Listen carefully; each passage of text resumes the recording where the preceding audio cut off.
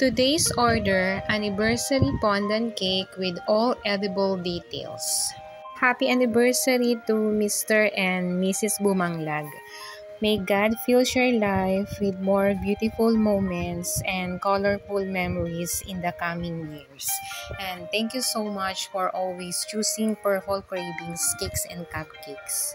Size po ng cake is 7 by 6 I use Van Houten Intense Dark Chocolate for my ganache and homemade whipped fondant. Nilagyan ko po ng edible uh, lace yung details po ng ating cake uh, with uh, edible white and gold flowers. Size po ng acetate cake box is 10 by 10 by 12.5. Let's make your celebration extra unique and memorable by getting our Instagrammable cakes and cupcakes perfect centerpiece for your party tables.